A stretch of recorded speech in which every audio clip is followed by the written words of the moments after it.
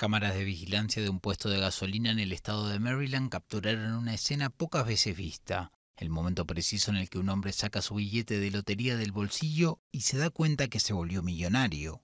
Este hombre sería el dueño de uno de los dos boletos ganadores de la segunda premiación acumulada más grande de la historia de la lotería estadounidense. El cajero de la estación de servicio narró como el presunto ganador no daba fe de los números que sus ojos veían en el papel. No es para menos. De la noche a la mañana, pasó a tener 294 millones de dólares más.